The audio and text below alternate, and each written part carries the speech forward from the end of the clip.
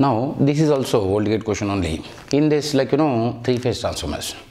But as I told you before with single phase transformer ideal uh, transformer analysis will be able to solve. Okay. So in this question what they have given like you know dy transformer. So this is going to be delta and maybe this can be star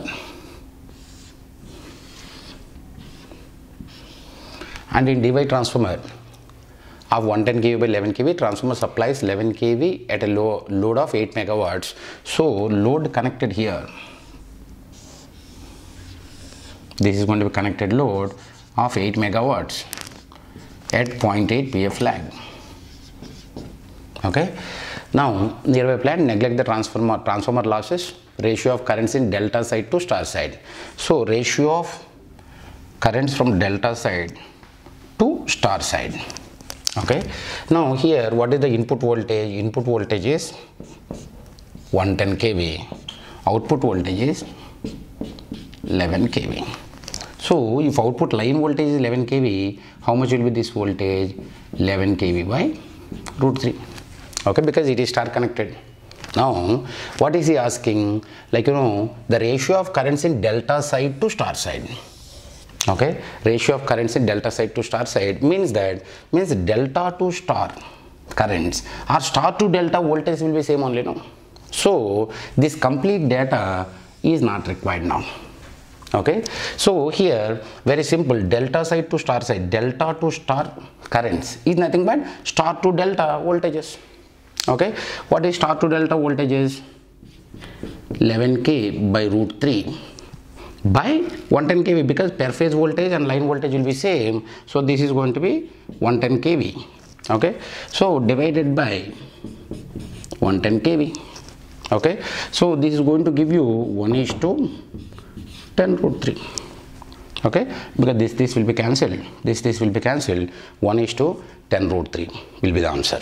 Okay? Let me repeat again. They asked actually currents from here to here okay? Basically we know the equation. What is that equation? Like you know emf per turn in primary equal to emf per turn in secondary equal to root 2 pi f pi max. We know. And second thing is secondary mmf should be exactly compensated by primary compensating mmf now if I combine these two my net equation is going to be E1 by E2 E1 by E2 equal to N1 by N2 equal to N1 by N2 is going to be I2 by I2 dash. So if you ask currents in reverse way voltages will work fine. So this 8 megawatts like you know of uh, load need not be considered at all. Now coming to the next question okay?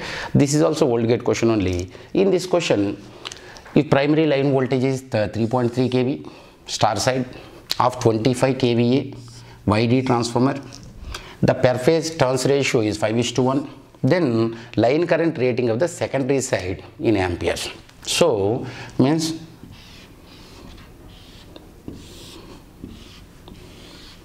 this is going to be star. And secondary side is delta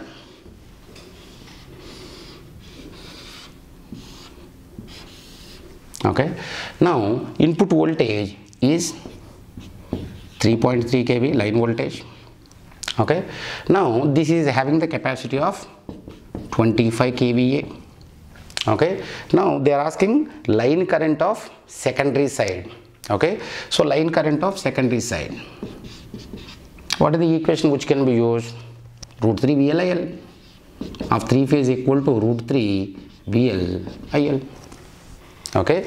Now just we have if we can find the line voltage is nothing but phase voltage in delta connection line current can be directly found. So this equation will become in order to find IL line current S divided by root 3 VL what is S capacity? They have given 25 kVA. So this is going to be 25 kVA divided by root 3 into line voltage or phase voltage okay now they are saying like you know this is having 5 is to 1 turns ratio.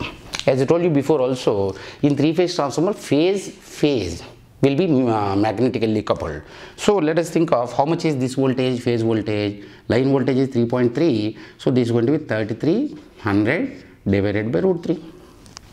Now if it is 3300 divided by root 3 divided by 1 because this is 5 this is 1 means that this is HV this is LV. So this line voltage or phase voltage anything is same in delta is going to be 3300 divided by root 3 into HV LV. So it should be divided by 5 which will come to 381 volts.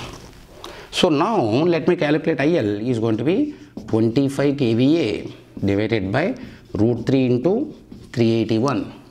Okay, so the answer is going to be 37.88 amperes.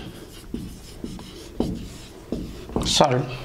So do one thing like you know in three phase also don't think of separately three phase transformer and all just in three phase transformer also with single phase transformer analysis we will be able to solve problems thank you